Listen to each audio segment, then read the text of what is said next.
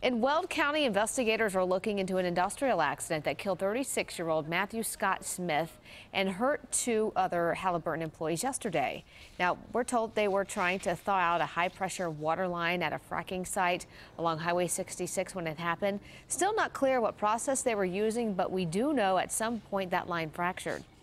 And what came out of that was probably about 2,500 to 3,500 of PSI. So we don't have a definite cause. It's going to remain under investigation. And stay with 7 News as we learn more about what caused this accident.